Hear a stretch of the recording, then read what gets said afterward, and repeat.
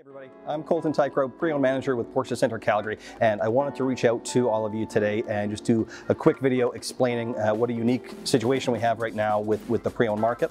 Pre-owned values have gone way up. We're, we're seeing some, some pretty incredible values on, uh, on our cars lately. So as a result of that, when you take your vehicle to trade it in or just to sell it to us, uh, we've been able to pay substantially more, uh, you know, in, over the last few months than we have uh, for for years with with some models. If, you know, when you come in, I take a look at the car. If you like my number, I can have a check for you within within a day or so. We're low on inventory, we need them, and you're getting more than ever. So if you've thought about it at all, do give us a call, pay us a visit. We would be very happy to take a look at your car and to buy it from you or take it in on trade. So again, if you've thought about it at all, please reach out to us.